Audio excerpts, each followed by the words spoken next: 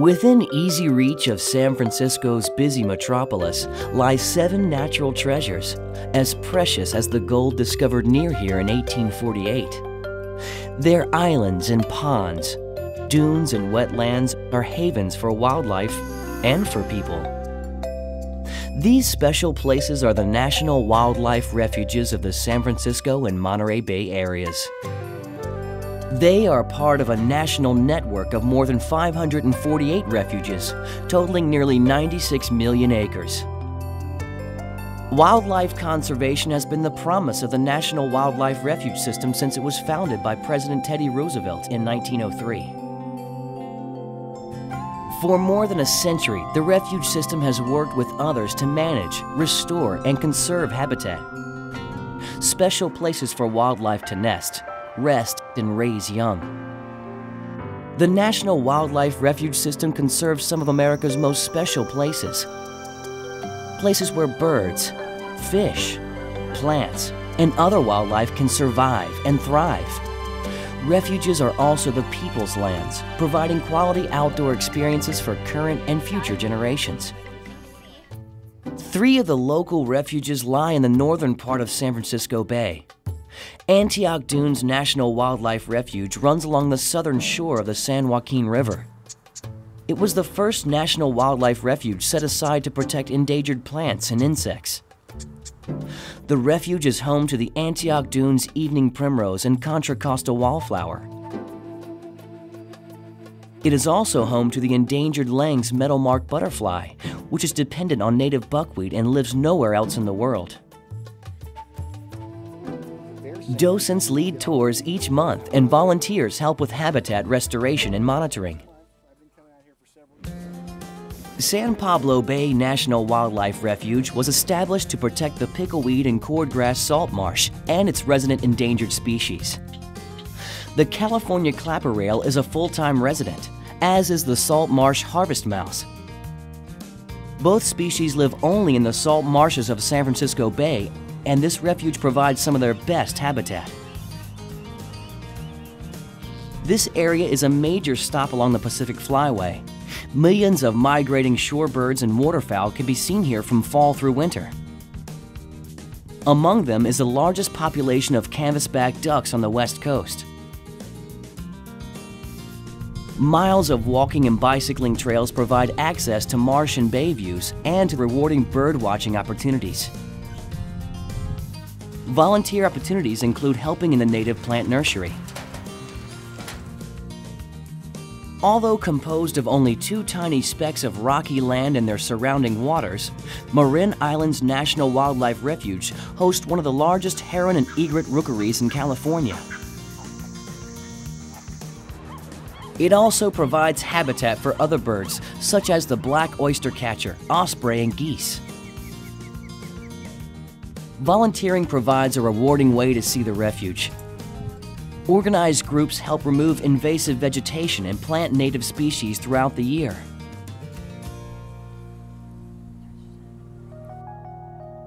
Farallon National Wildlife Refuge is the oldest of the refuges in the Bay Area. It is made up of a half a dozen rocky outcrops known as the Farallon Islands, which rise from the Pacific Ocean 28 miles west of San Francisco Bay. Farallon's cliffs are brimming with common murres and other seabirds.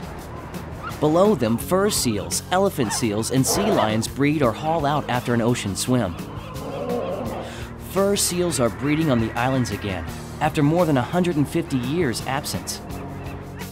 From late summer to fall, large numbers of California brown pelicans also make their home here.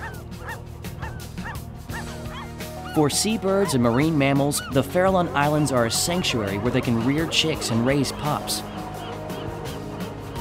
Commercial boat trips provide good views of the island's wildlife. South of the Farallon Islands at Monterey Bay lie two more refuges, Salinas River and Ellicott Slough.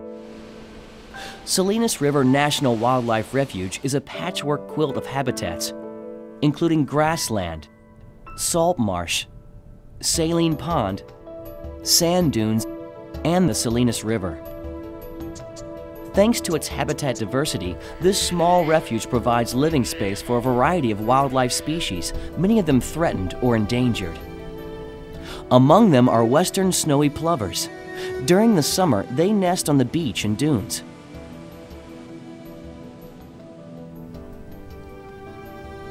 The Salinas River Refuge is one of the few places left in this part of California where plovers breed successfully.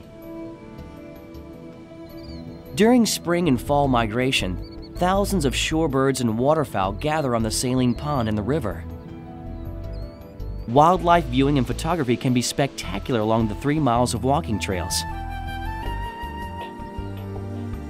The beach also offers wildlife viewing as well as surf fishing, a popular activity.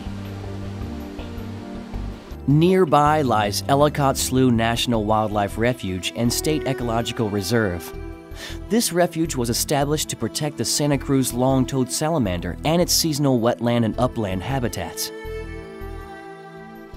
Biologists monitor this endangered species throughout the year to help ensure its survival. Here, staff work with local students to restore native habitat. Once again on San Francisco Bay, along its southern end, lies the Don Edwards San Francisco Bay National Wildlife Refuge. It was the country's first urban national wildlife refuge. Don Edwards is the largest of our local refuges and it provides an oasis for millions of migratory birds and a variety of endangered species. It serves as headquarters for the seven refuges of the San Francisco Bay National Wildlife Refuge Complex. A variety of activities and education programs are offered here and at the Environmental Education Center in Alviso. In addition to conserving habitat for wildlife, the National Wildlife Refuge System also restores habitat altered by urbanization. Examples of restored habitats can be seen throughout the refuge, but the most extensive is the South Bay Salt Pond Restoration Project. It is one of the largest tidal wetland restoration projects in the West. When completed, a rich mosaic of wetland habitats will replace more than 15,000 acres of former commercial salt ponds. There will be restored tidal marsh and ponds managed for wildlife. The restored marsh will provide habitat for endangered species, such as the California clapper rail and salt marsh harvest mouse.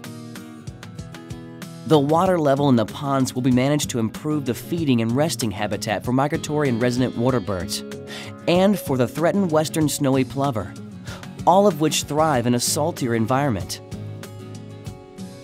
Conversion of the salt ponds will bring other benefits too. Water quality will be improved and nursery habitat provided for fish. There will be better flood management and more wildlife-oriented recreation. Already the public is welcome to enjoy more than 35 miles of walking trails, join guided walks, come for special events, or participate in environmental education activities. You can also volunteer to help lead activities or get involved in countless other ways. There is something for everyone. There is something for you.